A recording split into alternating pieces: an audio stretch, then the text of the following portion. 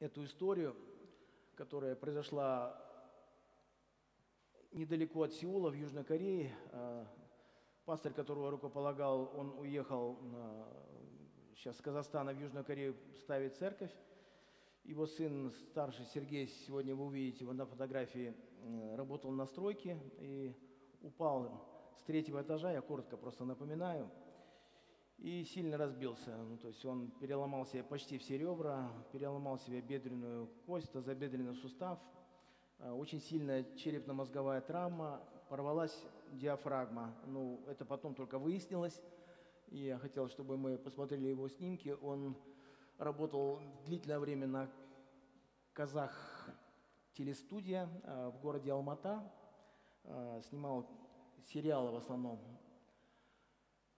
телевизионные фильмы. Вот. Молодой парень, ему сейчас исполнилось 30 лет. Вот. После того, как он упал и разбился, он провалился в кому. И